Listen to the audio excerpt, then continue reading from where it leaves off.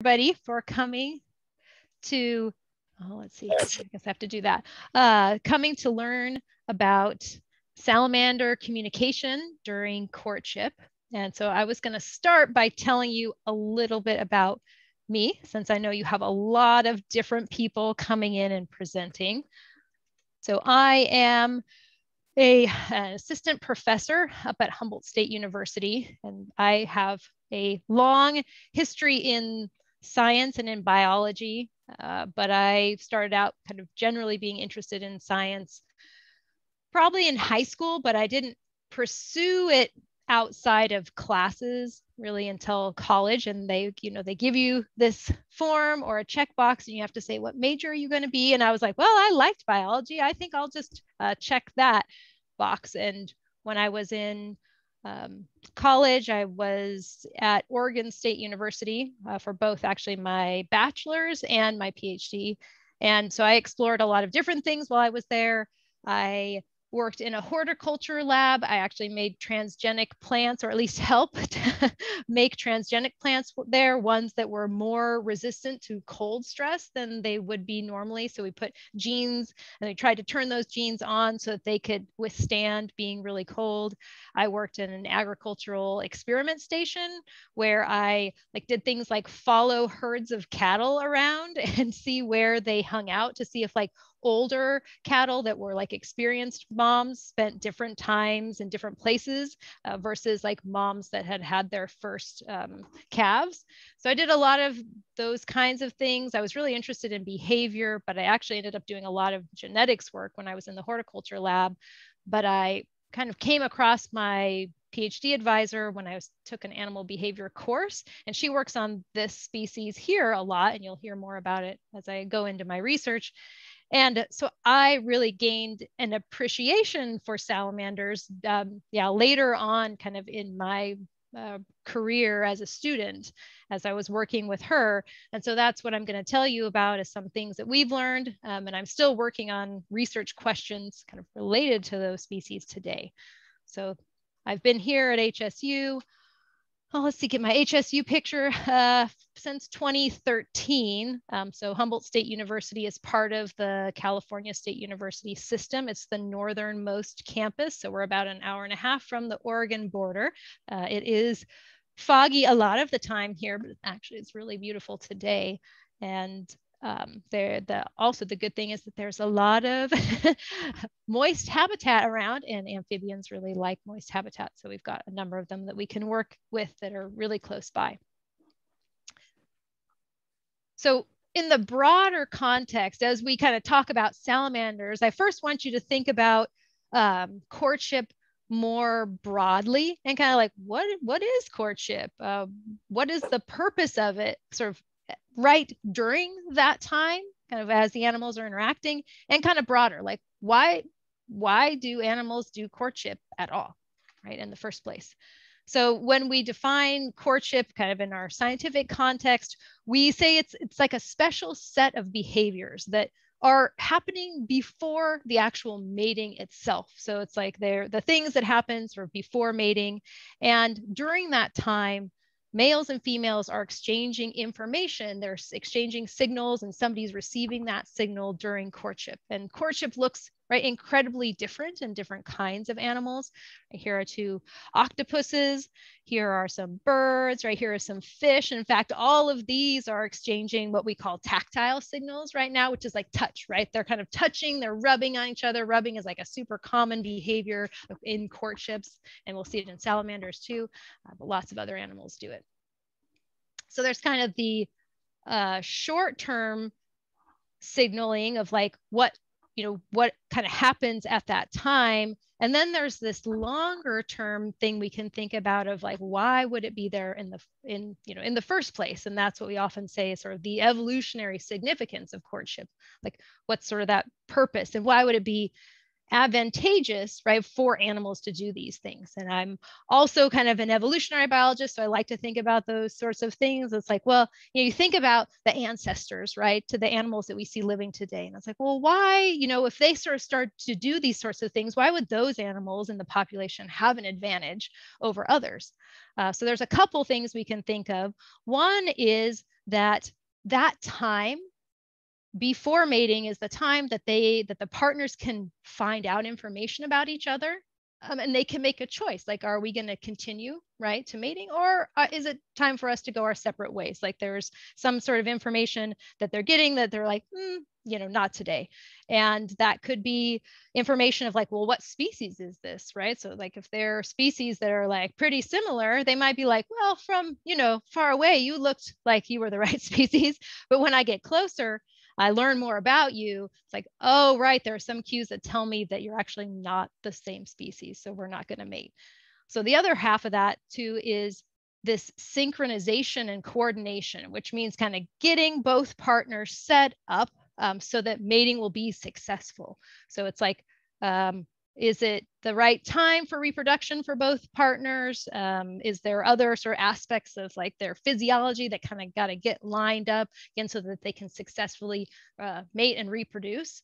So they're like the salamanders that the one I just showed you, it the females of that species typically only can make eggs every two years. So they've got to like store up energy, uh, eat lots of food, and then they only have offspring every two years. So, like during that other year, you know, if there was like a male comes up and it's like, oh, well, is it, you know, is it maybe time for us to make offspring? And then there might be some cues that he's like, oh, well, actually, you know, you're not able to make eggs this year so we're not going to actually go on to mating. So we've got that aspect too of courtship of these early interactions to try to like, you know, kind of gain information about the other partner.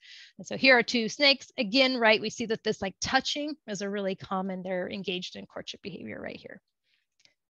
And so those signals like i was talking about like how do they get information um, there's a number of different ways that they can do that and we're humans, right? We think about communicating predominantly in visual signals and auditory signals right? So if i were going to try to like give you some information like i'm doing now right i'm i'm talking and right i'm giving you visual cues.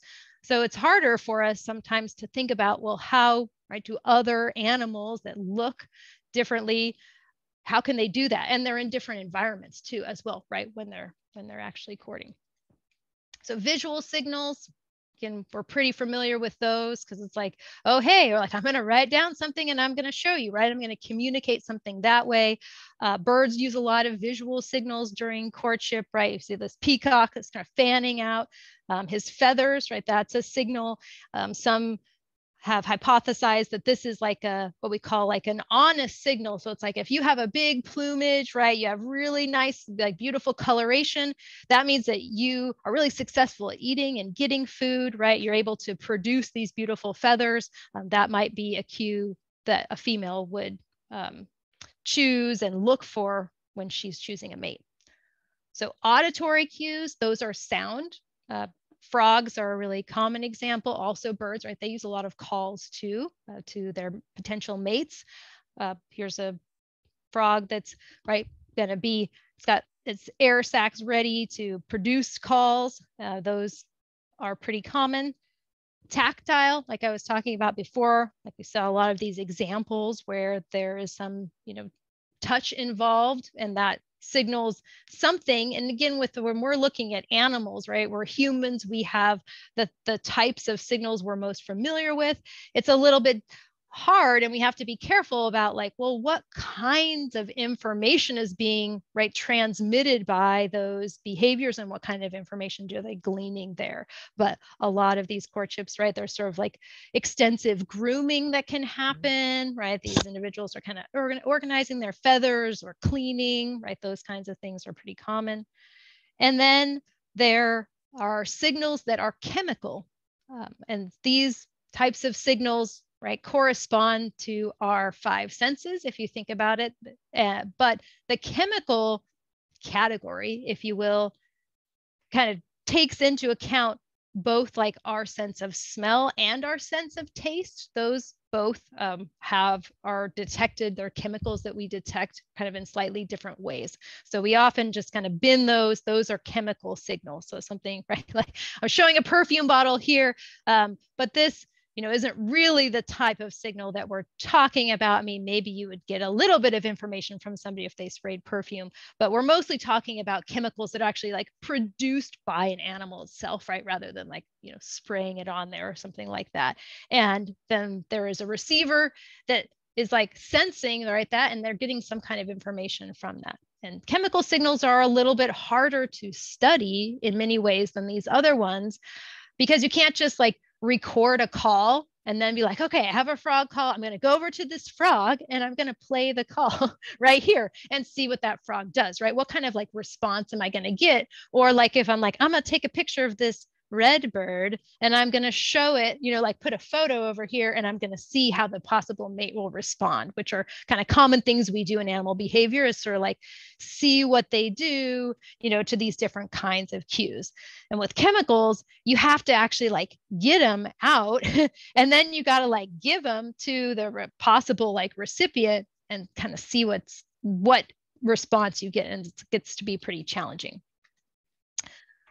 So if you think about those different kinds of signals, right, we've got to overlay that or think about what kinds of signals would work in the different kinds of environments that the animals are living in. So if you had something like this, let's say, you know, you're thinking about communicating with another individual, what do you think would work well to do this? What kind of signal might you use of those four kinds? You can put it in the chat if you want, if you're can get to your chat easily. I know some, it looks like somebody's probably on their phone, and I think chatting on the phone is kind of hard. But anybody have any ideas? I think you can probably direct message me or you can put it in the chat to everybody. All right, somebody's saying auditory. Definitely, because we don't see a lot of stuff, right? On the landscape that's going to like absorb that signal, right? There's a couple trees, but they're kind of sparse. You could probably right call to someone, be like, "Hey, what are you doing over there?" Uh, and that'd be pretty useful. Somebody saying also touch. Yeah, if you could get close, right? There's again not a lot of stuff preventing you from walking over, right? And like shaking someone's hand. Again, if we're thinking kind of outside courtship, but just trying to kind of get some communication going. Yep. Visual was probably going to work pretty well too, right? Because again, we've got a few trees, but if you were like, hey, I'm over here, someone's probably going to be able to see you. You know, if you're like holding up a piece of paper from far away, maybe not, but uh, you know, if you could make some sort of big signal, maybe if you're thinking about an animal, right, that's got like antlers or something that's like an indicator of sort of mate quality, like they have enough resources, they could grow big antlers, right? That could be seen from pretty far away. And someone's saying like vibration, right? That is, yep, that's kind of a sound. Like there are some like really low sorts of calls and they actually can travel really long distances too. So that's kind of another aspect of like how close, you know, can you get? So what do you think about this one though? How about this environment? What do you think would work well if you're trying to communicate with a, a possible mate or, you know, just another member of, of, us, of your species? I'm saying sound, scent. Yeah. Probably not so great for visual cues, right?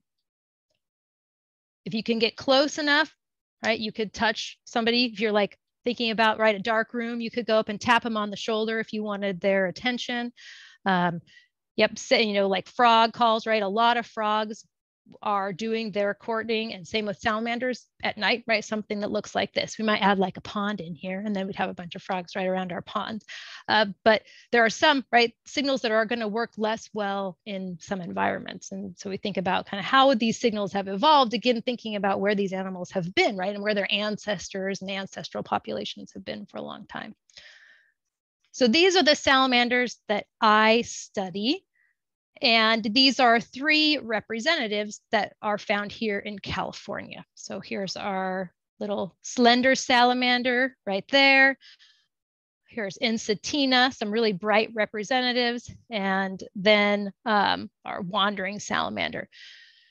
And I know I was trying, I was going to look what salamanders might be where you all are in terms of their ranges. I learned a lot of my natural history of amphibians and reptiles from Oregon. And so I in Oregon, so I like know a lot about the ranges up there. And I, I've been here for what eight years. So I probably should know more, but I do a lot of genetics and stuff too. So I was like, ah, it's I've got to start learning, learning my natural history. And there's a lot of like these slender salamanders. They've been they've been finding like new species ones that are like they kind of look the same but actually genetically we see that they're pretty different in that they haven't actually been like moving around um, and joining other populations very much. So salamanders, they're amphibians. They have moist skin. They're kind of secretive.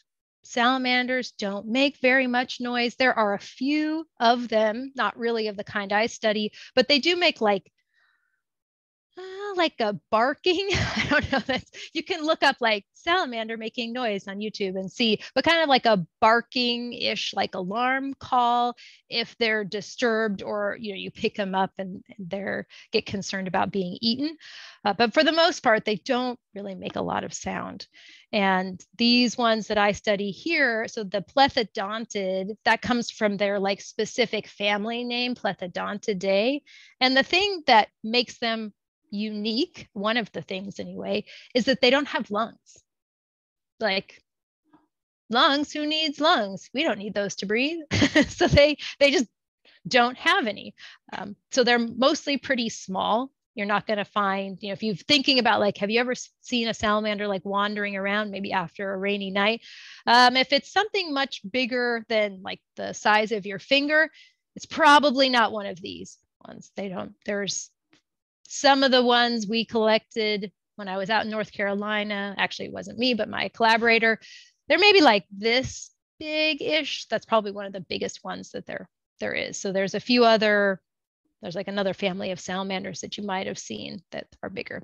But because they're lungless, they breathe through their skin. So to get the air kind of all the way into their bodies, it can't be that big. Otherwise, like the internal part is not going to get enough air. And the other thing that is interesting is they have these grooves, and I'll show you a close up of their head later on. And it's like the groove is kind of like a, a straw that takes like chemicals from the environment and kind of sucks it up into their nose. So it's like when they touch something, it's like all those chemicals travel. Like if it's it's in the water, the water like travels right up into their kind of their olfactory place so they can like smell it. So they're like got this kind of setup so they can go around and smell stuff. So they're very attuned um, to chemical cues. And so when we kind of started out doing some of this research, there was a long history of trying to understand courtship in this family of salamanders. There's like 500 species of, of plethodontids. It's the most like species rich family. That means it's got the most species of any of the salamanders. Yes, but it's not nearly as many as like, I don't know, insects or something like that. But we only have information about how they do what they do uh, before mating, how they do their courtships from maybe like less than 20% of them. Um, and if you have learned about amphibians before, you might have heard about uh, chytridiomycosis. There's a fungal disease, the chytrid fungus, and it's really been hammering amphibian populations. It's really bad for, for um, frogs, but there are some salamanders that are susceptible to it too. So understanding kind of how animals get set up and successfully mate is important for thinking about captive breeding too and like how do we set up a place so that these animals will successfully breed so that we can actually make new ones right and have like a population. Some people are doing things with amphibians. They have captive populations and then they reintroduce them back out into the wild right? So they're trying to like get the natural populations back up um, by supplementing with uh, the individuals that they were able to breed in the lab. Unfortunately for us a lot of the salamanders that i study in this family don't love to reproduce in the lab. They are they're really sensitive to kind of their environmental cues and they'll be like not today my friends. This is not the day that we are going to court. So we don't have very many captive breeding programs for plethodontids, but understanding what they need, right, and kind of how they go about that will help us design some of those if and when we end up needing them. Because again, these salamanders seem like in general, they're not as sensitive to some of these diseases, but you know, we never know if there's going to be new things coming around, new pathogens. So the first study that I want to tell you about is trying to understand like what they do, just their behaviors um, a little bit more. And we did this comparative study where we looked at salamanders in this one genus. So this Aneides, that's just the scientific name for these salamanders. So we have information on about six of them. Some of these accounts were like, hey, I was walking through the forest and I saw these salamanders, and knowing what I know about salamanders, I realized that they were courting because they were like walking around together. And we'll see kind of what they do here in a second. And so someone's like, and I just stopped to watch and I like recorded the time when they did various things. Uh, some of these, the ones that we did, we actually set them up in the lab so we can get a little bit more, you know, information about how long does it take them to do various things and what are they doing. And we can actually, you know, have video that I'm going to show you of what they do to kind of help others understand because video is much easier than trying to describe with words, although we do that too. So we had these, we have these, this information from six of these, and then the three that I underlined here um, are the ones that we actually were able to go in and get some courtship information from ourselves. So the way that we do that uh, is that we get some salamanders. they get to live in these very nice shoe boxes that you can see right here in this picture. We get uh, paper towels that are clean and not bleached so they don't have as many chemicals.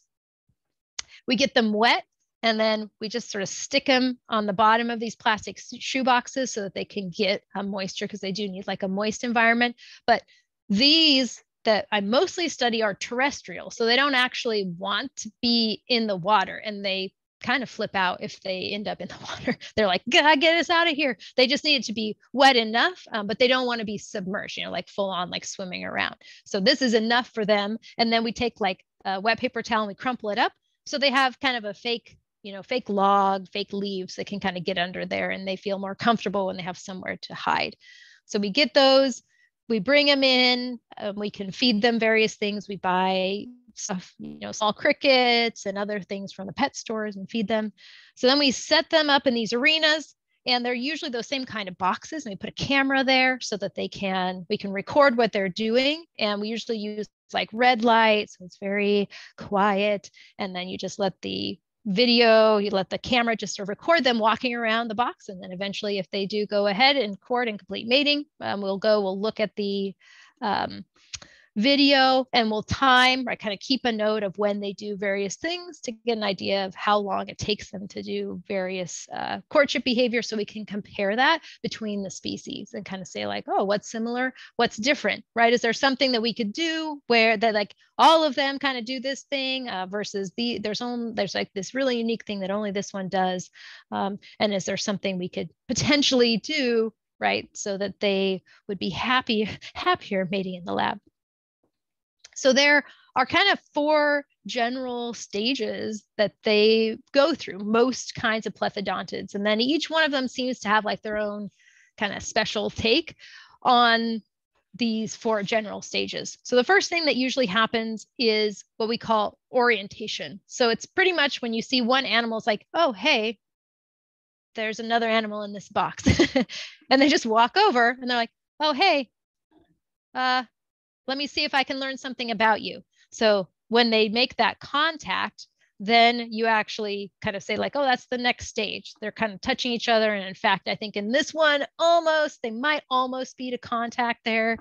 Um, but then you're kind of getting when you're kind of taking a stopwatch and you're like okay and now they're on to contact. Then they'll do that again for some number of minutes.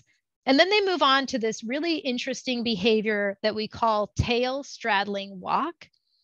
And just it is kind of what it sounds like, where it's like one walks along, straddling like legs on both sides of the other one's tail. Um, and we have we don't see this in any other kind of salamander, but pretty much all of them in this family, all 500, do this for various um, lengths of time.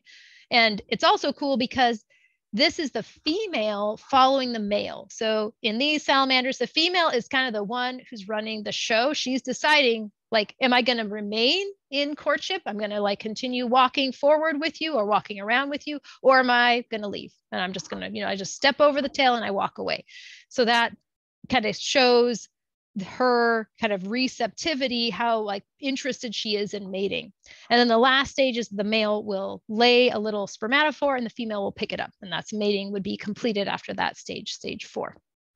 So again, we can look and see what the animals are doing and we can from the videos, or we also sometimes do this in person where we sit like very, very quietly and we watch them for long amounts of time and you could kind of tally. Sometimes we'll do like a scan. So you might have like 10 boxes you're responsible for and you'll just scan across and you just note like what are they doing? Okay uh, orientation tail straddling walk nothing right? And then you just kind of go back. So you might do that for like two or three hours in a cold room at night. So you have to be very patient to work with these species and you can't move quickly because even under low light you know if they see your arms or something uh, it'll distract them and they'll be like oh oh what were we doing? So it's uh, that i spent a lot of my phd sitting quietly with lots of clothes on in our cold room because they prefer a temperature like maybe like 63 64 degrees. So it's not freezing cold but you know if you're sitting really quietly you want to have some something layered on to keep you comfortable. And so when we do that we can do things like make a table of the information that we've got so we can compare across species. So the, these are the information that we have from minutes of time that they spend doing different kinds of stuff. So we have orientation, OR, head contact, uh, tail straddling walk, TSW, and then spermatophore deposition. And these are the four that we actually have like numbers for. So the other ones we just kind of have like a description. Somebody didn't actually, you know, wasn't able to like time everything. So they're so you can see that like how what they do in these different or how long I guess they spend doing different things varies a lot. So you know, the orientation often is fairly short. So the main number there, like three for the clouded salamander, that's just three minutes. And then underneath in parentheses, those that's the range. So if you have more than one animal, you have more than one courtship, it's like, oh, well, some animals are spending as little as one, some are spending as much as five minutes. Um, so that you can see like they spend a lot of time in head contact, like rubbing, right? That tactile communication. So like for the clouded salamander, that's like three and a half hours. Can you imagine like sitting there and they're actually kind of rubbing like this on somebody for three hours? Because that's what they were doing. and even like the black salamander, right? That's like an hour and a half on average that they spend doing this. So you know, you're thinking about the salamanders just kind of out there. It's like they're doing complicated stuff, right? And it is taking them a while to get that coordination kind of set up where it's like, all right, well, is it, is it actually time to mate? And a lot of that we think is like they're transferring chemical cues we'll talk about that. Um, they're probably also kind of assessing you know that tactile behavior. It's like all right well is that are you the same species as me? And that's kind of you're acting like i expected or are you acting a little bit different? Um, right and sort of exchanging information during that time. And then they walk around together uh, tail straddling walk for like again like three and a half hours in some of these species or maybe almost four hours just like walking around. Um, again, you just sort of imagine them on the forest floor. They're just walking around. Although some of these species live up in like the trees, and you're like, whoa, what are you doing up there? like, how do you walk around? Uh, we'll see probably how they do that. Uh, here, I'll show you some videos. Or like, you know, kind of like under maybe a log or something where there's enough space where they can still walk, but you know, get do that walk for a while. Yeah, so it's very you know, and it varies a lot between these species. And what is it that creates so many species colors? Yeah, and it's really interesting because the, the they they have some really beautiful different colors, but you're like, well, for the most part, they're like hiding under logs most of the time. they don't. And I was like, and if you're in the dark courting, you can't really see that well.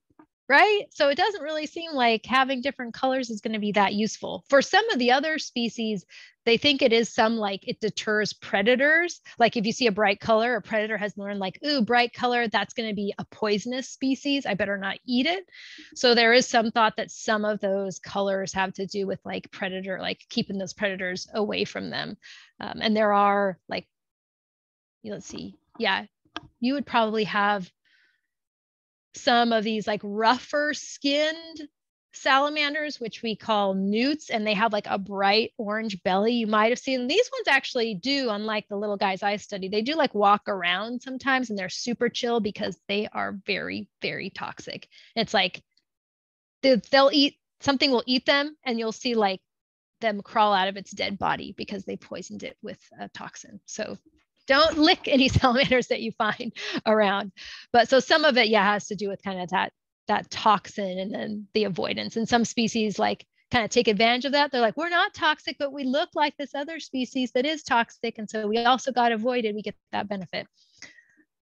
So one of the cool or a couple of the cool things that we saw when we looked at the videos were some things that had never been noticed by anybody else. One thing is this circular walking. So usually it's like this linear thing like you see down here in panel D where the males in front and the females and they just sort of like wander about. Um, but many of them would spend their time like kind of wrapped around each other like this, which was really unusual. And again, we think might be related to like being up on like a branch and you don't you can't really walk around that much because you'll come up to the end of the branch right? Or you like walk off the side. So but if you go around in a circle right you're kind of you don't need that much space for your courtship. We also saw that there were some female behaviors that really hadn't been recorded that often, um, where the females were really active participants. They were like going up, they were starting the head rubbing, they would undulate their tails, which just means we'll see that in a video, like kind of like lift their tail region up and kind of like wiggle it around, um, which typically is more common for males to do. But there just seems like the females were also being pretty active in the courtship encounters. Let's see if this will play. We can see here, we'll look at um, that circular behavior. These videos are kind of old, so I apologize. They're not the greatest, but that's what you get when you were doing stuff in 2000. And I'll show you one from like the 70s here in a second. But right, they just kind of like walk around. Sometimes they kind of get, I don't know, startled and then they have to kind of re right organize themselves there. But they'll do that for yeah, for hours. This ones are like, oh, and when they're in these boxes, it gets a little bit challenging because they get, you know, they kind of get like stuck on the sides. Like they're like, I'm trying to walk. And the males be like, uh oh, we've hit the edge. And then they're like, you know, they kind of like rebound off of the sides of the box. So looking at those kinds of um, videos and written accounts of the behavior, people were like, yeah, they do spend a lot of time kind of rubbing on each other. And if we look at them and look at like, you know, kind of what their body is like, some of them have these giant glands under their chin. So this is like an extreme example here. And these glands are only there when it's breeding time for them. So for this species, it's kind of in summer. So they're not there any other time of year. And when they look inside and actually kind of like looked at the chemicals, like what's actually in there, they found that they were proteins. There's all just like a ton of protein in there. And during the courtship, if they looked like the males were going around and like touching that gland all over the females in various ways. And I'll show you a couple examples. And it was like, this seems pretty clear that they're putting those proteins, that stuff that's put it's made in the gland onto the females um, at that, you know, during the courtship. And then the question is, well, you know, why? Like, what impact might that have on the females? You know, what does that mean for the courtship as a whole? So the two major ways that they found out that they're doing that is there's one called we call scratching. These names are sort I really do not like the the second name, but it's like once someone kind of calls it something in science, often you use the same term until maybe someone can come up with a better one.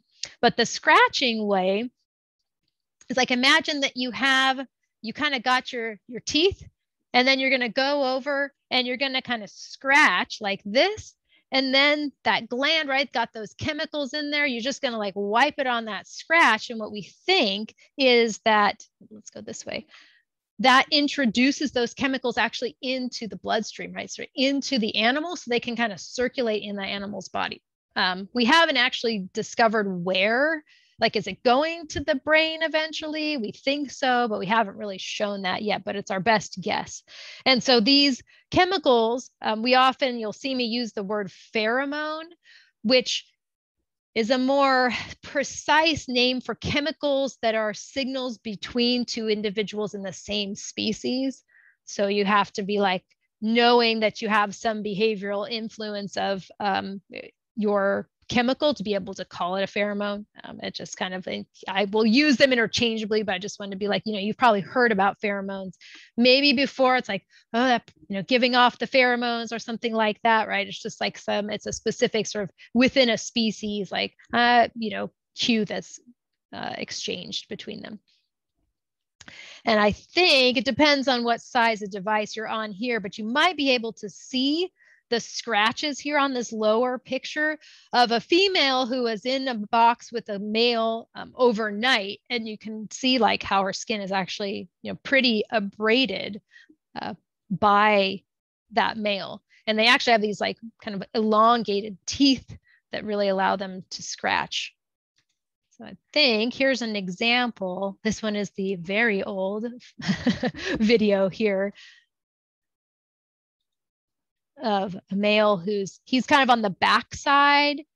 And you can see right he's kind of rubbing on her like sort of her shoulder blades. And really kind of getting right kind of his whole body into that curving around. And kind of putting and his teeth and his gland kind of go together you know like you can't really see the difference between like is it the gland or is it the teeth? Because they're all right there. But that is an example of scratching. And then we have this other one it's the olfactory delivery mode and they call it slapping, which I, again, I was like, I don't love that. So I try not to really use that uh, term. But instead of it being like the chemicals end up, you know, inside the body and like the bloodstream, in this way, it's delivered like right to the nose, basically. And the male takes that gland and he just sort of taps the female on the nose, you know, her nose is shaped differently than mine. So what it does is it actually puts those chemicals kind of right in that area where it's going to be sucked up into the nose. So they're like they're like putting it right there for the females to smell essentially.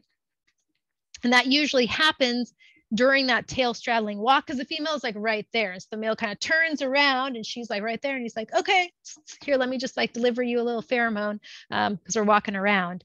And we've shown that these pheromones do kind of go inside of the olfactory cavity, right, where you sense your sense of smell and are going to activate the sensory cells in there and kind of send signals up to the brain. And let's see if we can get the video here to go and see what that looks like, actual animals.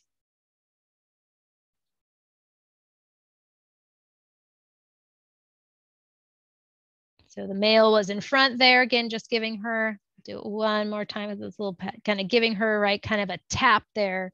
The female is the one behind. You can see the male kind of, you know, oh, that's the tail undulations I was talking about earlier, right, kind of moves his tail back and forth as they're walking around.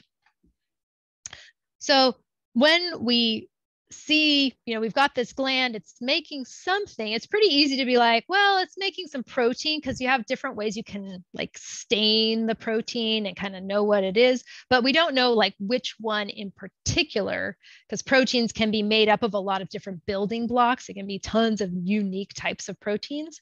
So to get at that, we do things like um, take the male's glands and get those proteins uh, out of there by doing what we call extraction and, and it's actually studying them.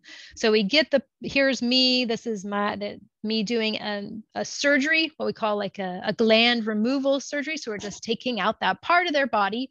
Uh, they recover from this. Um, we very carefully kind of uh, cut into the skin, just take the gland, put it back there. They're under anesthesia. And actually, we usually do this like I have to be looking at them through a microscope because they're so small, you know, like it's a, it's like microsurgery.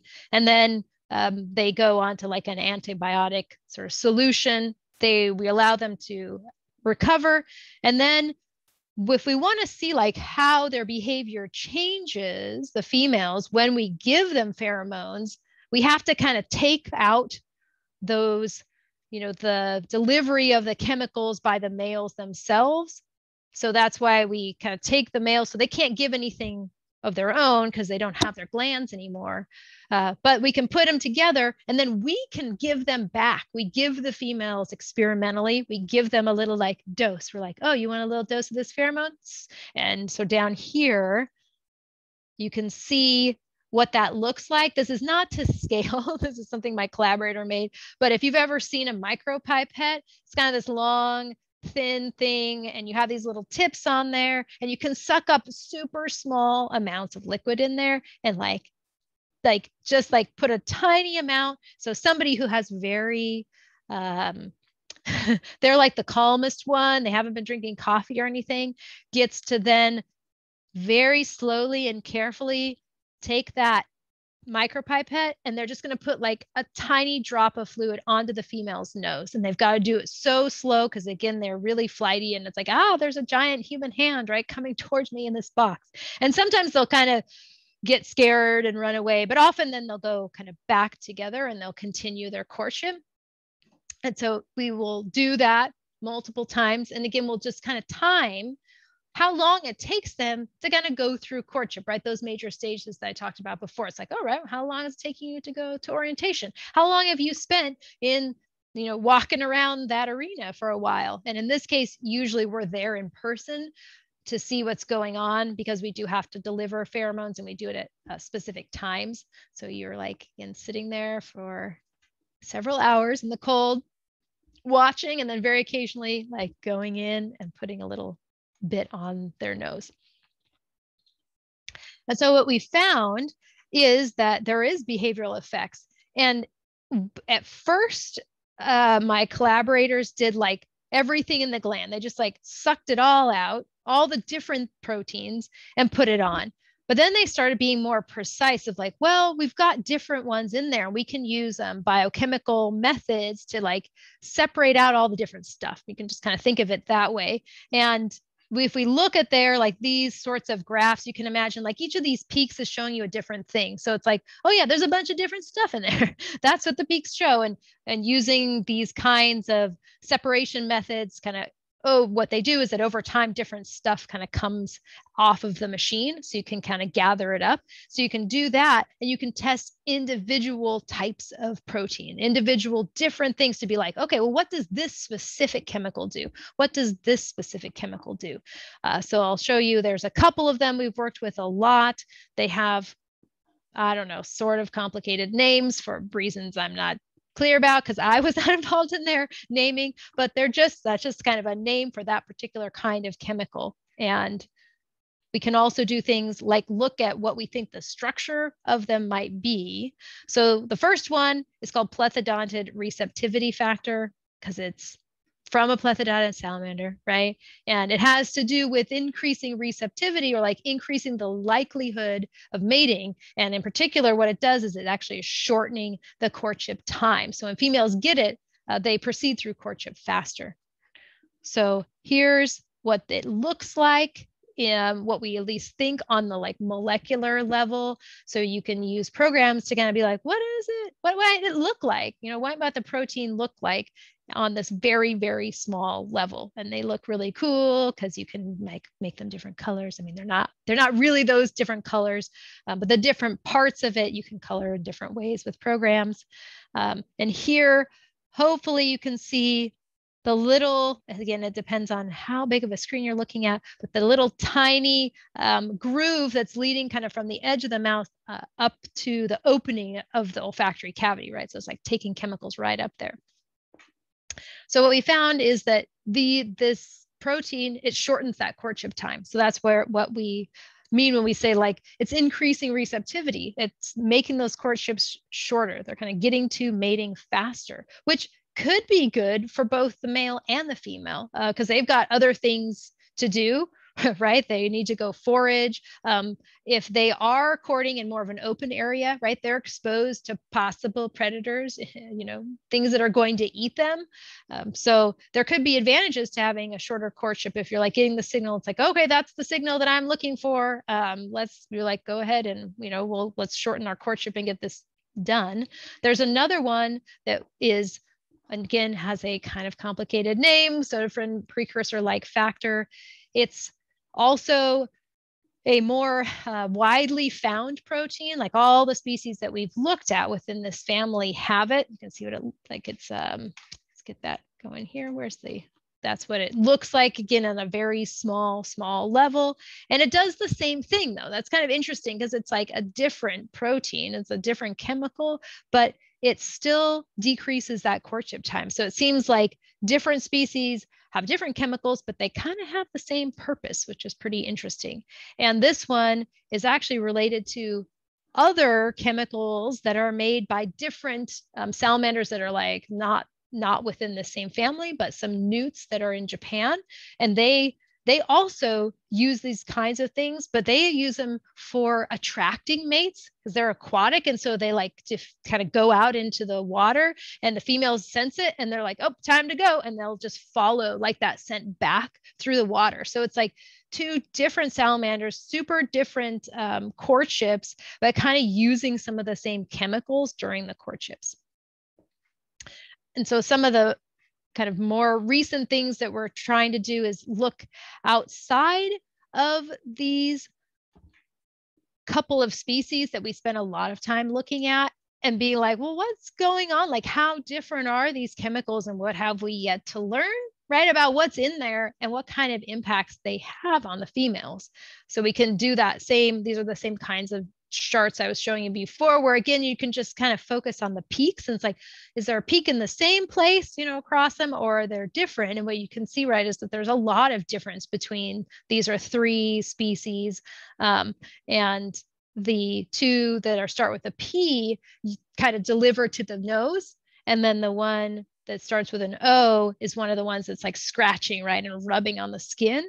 And so there's some commonalities between the ones that deliver to the nose. It's like we've in these shorthand are some of the, the ac- acronyms for the pheromones, so the ones we already know. Uh, there's also some though, they're right. There's some like peaks in the middle that aren't labeled. It's like, well, what are those things? They're in pretty high because the peak you can imagine is like roughly related to concentration. It's like, well, what do those ones do? Why is there so much of it in there? Like, you know, they have these special glands that they only make during the breeding season, and they're making a lot of that thing and we don't know what that thing does yet in terms of um, is there information there right? Does it have some sort of effect? Um, even the receptivity we're like well is that yeah like how does the female use that pheromone information? Why are courtships you know shorter? And is it kind of maybe different subtypes have slightly different effects or things like that. So we still have a lot to learn about like what are the chemicals you know doing specifically.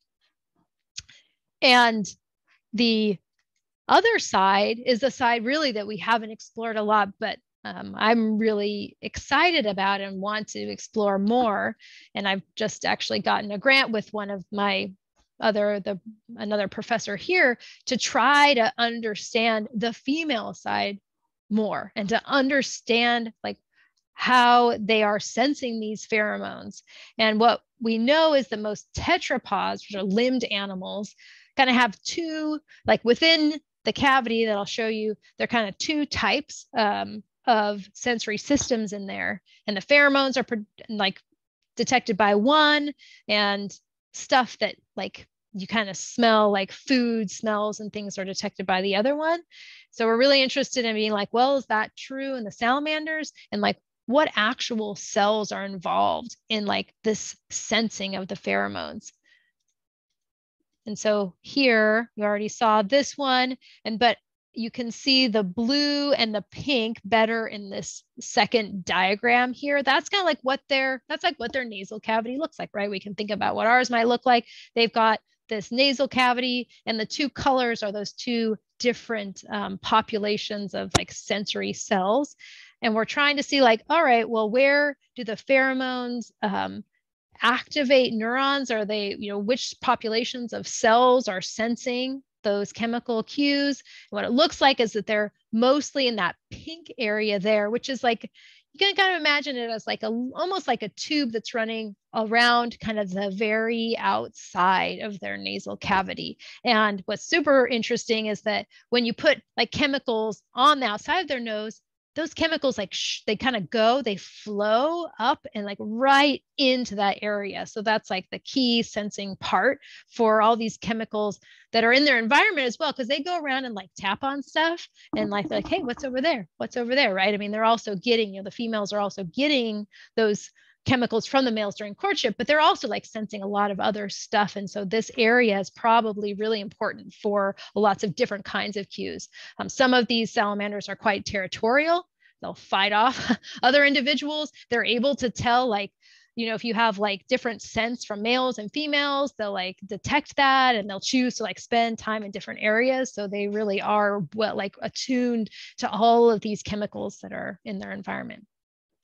So what we're trying to do is things like this, which is actually hone in on some of these cells. And so I'm showing you here, this is like if you imagine taking the head and then, you know, kind of cutting through, you're looking at a section of that kind of channel on the outside.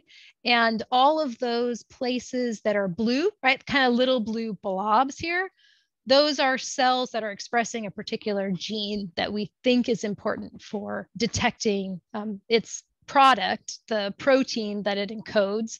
Got a little genetics there, but anyway, that cell, the way it's set up, it is um, probably involved in that detection that of those chemicals that they're getting. And so we're trying to figure out like, well, which ones exactly and how does that work? But it is a is a big work in progress. So a few conclusions here. I'll finish up and hopefully there'll be a little bit of time for questions. Um, you know, our behavioral observations, we're, that's like still where we are because it's giving us insight into these really secretive organisms that we wouldn't understand um, in any other way. And like I said, they're very challenging to try to breed captively, right? And, you know, potentially be helping some of the populations in the future. So they've got these protein pheromones, right? The chemicals that they use, really important. They're probably used by most species, almost all based on the presence of those glands. Even when the ones we don't actually have any information about their behavior, we know that they've got a gland, almost all of them. And you know, we're using these salamanders to help us understand more generally kind of what's going on during courtship, you know, especially in these species that are living at night and they're like hanging out in these environments where some other types of cues don't work. You know, how much do they rely on those signals and ultimately what are those signals kind of telling them and how do they make those decisions about their possible mates, right, using those chemicals? So this is just an acknowledgement that sometimes typical for um, like life sciences presentations of all the people who helped me and some of the funding sources that have been involved in giving money so, so that we can so study these little guys. So I will end there um, and I'm super happy to answer any questions you might have. I'll get my screen share off too. Anybody have any questions? I was taking notes. I have one, and then um, in case someone else has one, just jump right on in. Um, my first question, which areas have several different species? Um, is there a particular place, maybe not even in the United States, that has several different species? Yeah, so there are a few different like hot spots we call them for salamanders. And actually one of them is in the appalachians um, in the east. That's like for the plethodontids that's like a hot spot. So that's where i would do a lot of my field work when i was doing my graduate work because we would go to north carolina for a month every year and collect there. Um, and then broader like outside of the little lungless ones that i study trying to think where there might be a lot.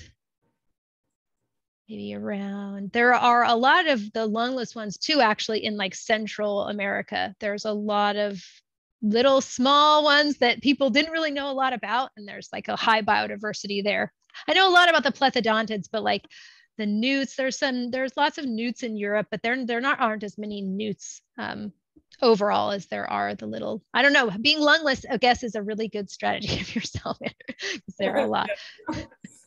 Uh, we're talking yeah. about that. Um, yeah. I i heard about a blind salamander. Have you, oh yeah.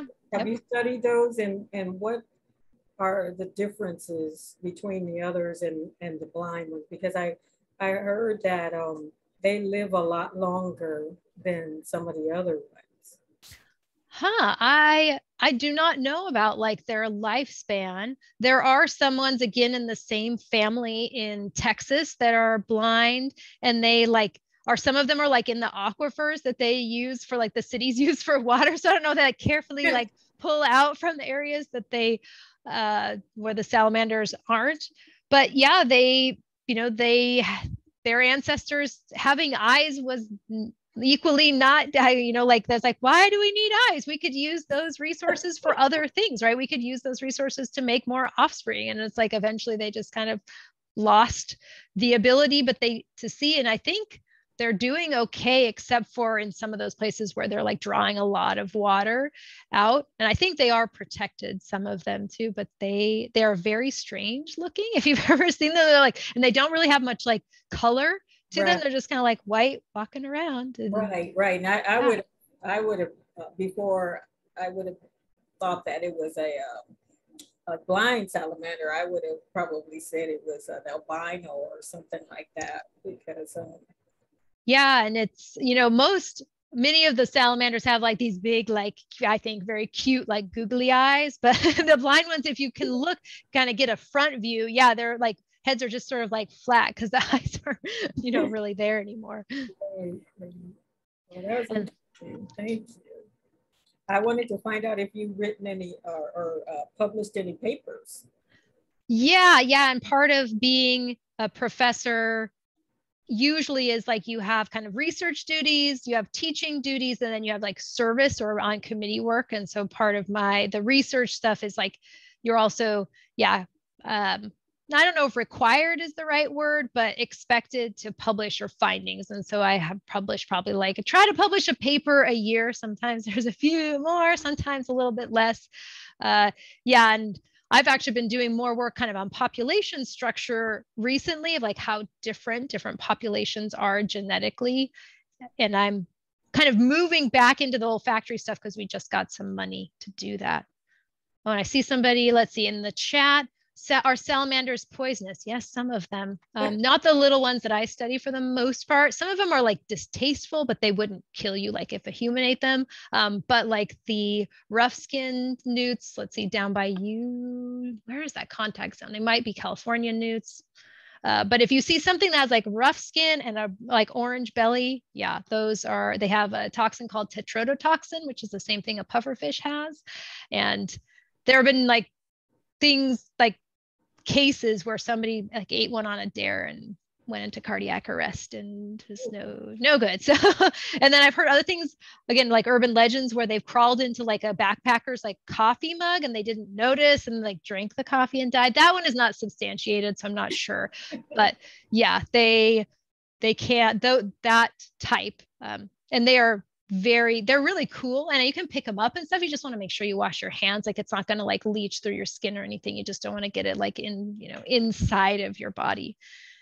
And uh let's see any do you know of any other animals that use protein glands kind of in this way? There are actually some new stuff that's showing that some frogs actually do communicate with proteins. It's less common because a lot of them use you know like the the auditory calls. They've got they most of them have that but uh, there's like a tailed frog that we have up here that doesn't really make much noise, and they think that they can communicate with some um, chemical cues. And um, let's see, mice have some that they actually have in their urine, and so they they scent mark with urine, and they like peon stuff and it's like this is my zone. And they're kind of they can actually be like individually kind of different composition and so they're like this is mine this is your area. We you know again we'll like establish territories in that way. And then someone's asking what is your favorite part of your job? Um i like i like that my job actually has a lot of different jobs inside it. Uh, so different professors at different universities have different amounts of teaching and research and service. So my university, my teaching is actually a fair amount. My research is like maybe, so it's maybe like 60%, 30%, 10%. Um, and I like all of those pieces. And sometimes I'm like, oh, I'm doing a lot of teaching, but then the summer I do like a lot of research. So it's really variable and it's like keeps me getting to do new things and i'm like i want to try this like new way of teaching and i was like oh i want to get into lab and do this. So it's it's nice to have those different pieces. I have done things where i like only taught or only did research and it is it's nice to be able to take some of that research and like put it in your classes um, and spend some time you know talking with students not just like sitting i mean i do have lab people too but like not just like sitting by myself in my lab. So i like most of those things and then how many salamanders are there? Total, I should know this, but I don't. I would say maybe like 900 total. So the plethodontids, the family I study, makes up most of them. And then there are nine other salamander families that have somewhere between like as little as four and maybe as many as a hundred or so species. But there are many more frogs than there are salamanders.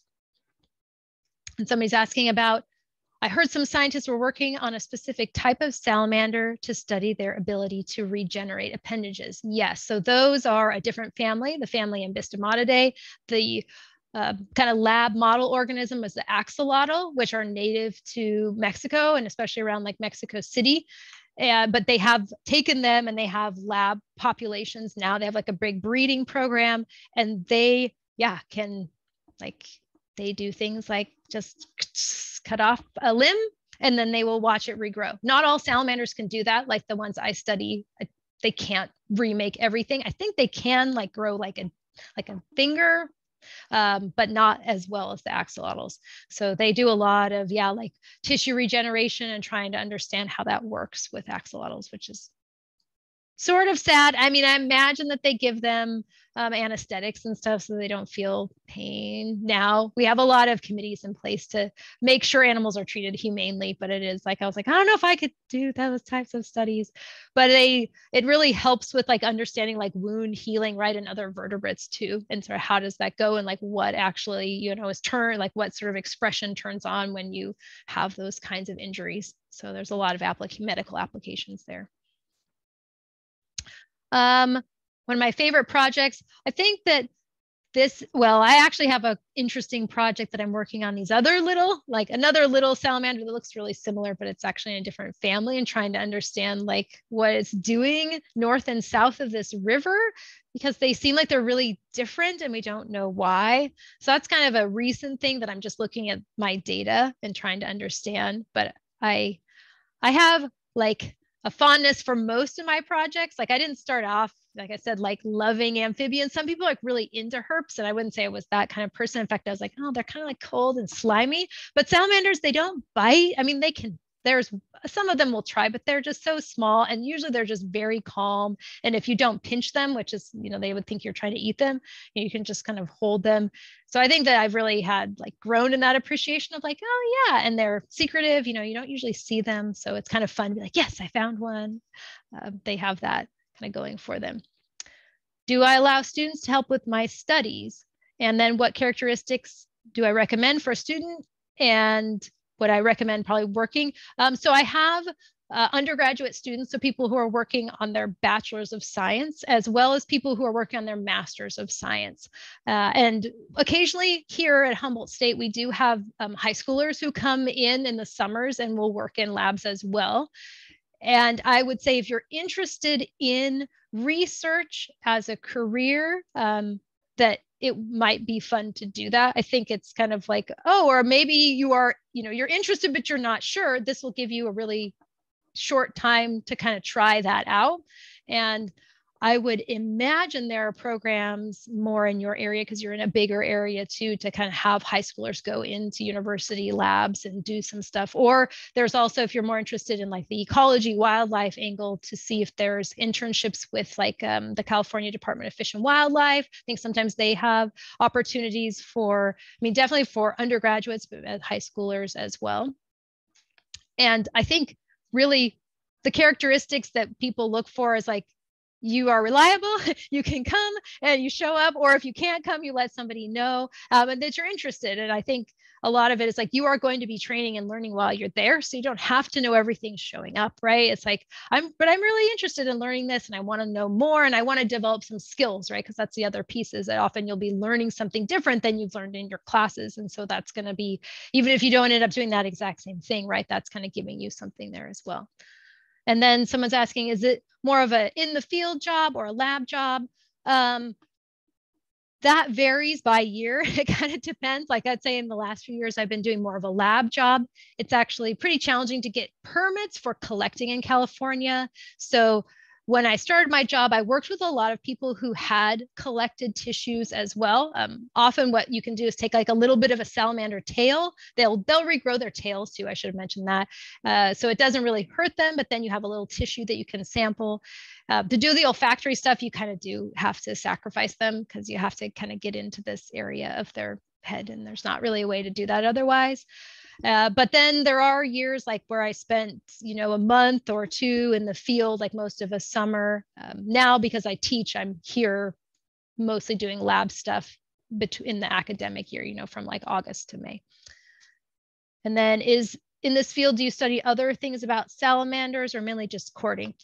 Um, trying to think back. I've done a little bit of work on um, their growth and development um, and how long they're like we tried to rear eggs and see kind of how long their developmental period is and how long the females actually can like store the sperm that they get for a long time and then they can make eggs like way later. And so sort of seeing like oh well who's the father? How long can they do that? Um, but mostly focused on like reproductive biology of them.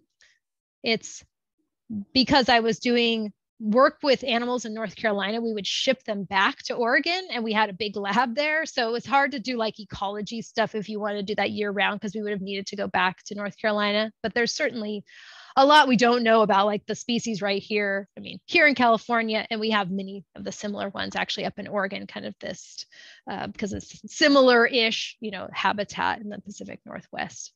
Not maybe as far south as you are, but they're you know, there's a lot of similarities. So I'm hoping to do more work out in the field, but the permits are kind of backed up now because of COVID. And I think everybody was like trying to get out last summer or like this summer. So a ton of people submitted permits in the spring. So we're still waiting because you have to have a permit before you touch an animal or do anything to it, which is rightly so. It's just like, well, we're waiting and we really want to get out there. So we just have to be patient. Think those were all the questions. If I didn't, okay. I was uh, I was wondering because I don't see them on my. There must be going straight to you. That's great. I I have never learned so much about a salamander in one day. and you never will again. No, I saying you might. but I, I did. I just have one last question. Yeah. They're all done. Um, global warming how's that affected the salamander behavior? Even um, since you started um, studying them, have you noticed any any differences?